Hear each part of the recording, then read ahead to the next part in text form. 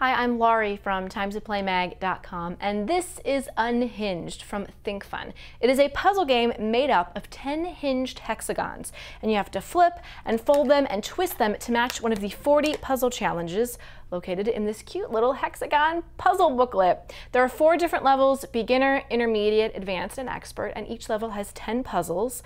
I'm gonna try puzzle number four. It's a beginner one. I've been practicing a little bit, so let's see if I can do this what I've found is that there is a learning curve to this. You're not going to be able to get this on the first try, but it is helpful if you fold this out so that it's either flat with the white side facing up or the blue side facing up. So let's see if I can do this.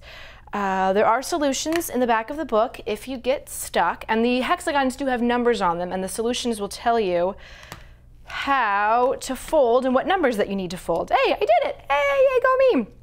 So again, a learning curve, but that's all part of the fun, trying to figure out how the puzzles need to be solved and just advancing through all the different levels. Now the appeal of flipping and folding makes Unhinged easy to pick up and it's addicting to play so it does make it hard to put down. And like I said, solutions are in the back of the book if you get stuck. It is for one player, it's ages 8 and up and it will definitely appeal to people who enjoy solving these types of puzzles.